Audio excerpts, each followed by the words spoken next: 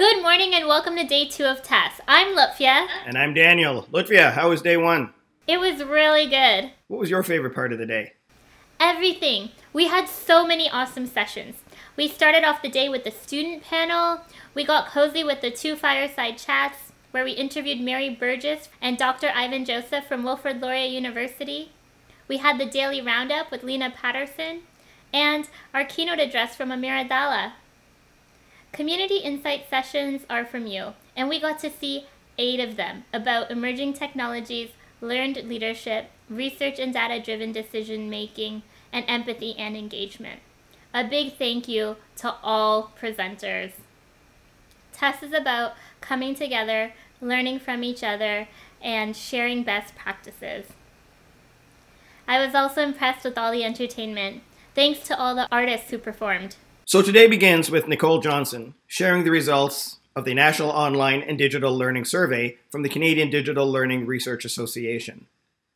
The Community Insights feature an additional eight sessions today, and we urge you to take a look at the agenda and tune into the ones that may be of interest to you.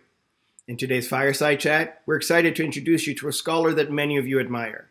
Dr. Michelle Pacansky Brock will be here, and she's going to be interviewed by our very own Lena Patterson.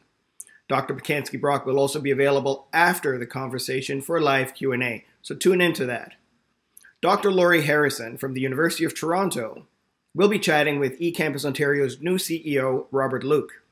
You should tune in, learn a little bit more about who Robert Luke is and what it is that excites him and what where he's going to take eCampus Ontario. Our keynote speaker today is Dr. Santa Ono from the University of British Columbia. I hope that you'll be able to join in and watch his presentation. A few housekeeping items. Don't forget that after the Community Insight sessions, you can connect with some of the presenters. Simply refer to the agenda and click on the next sec section.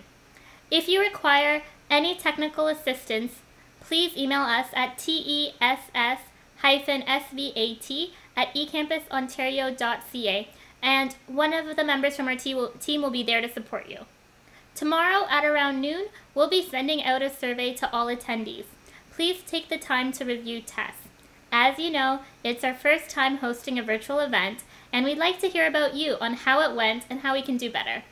All right, time for day two to begin. Have a good one.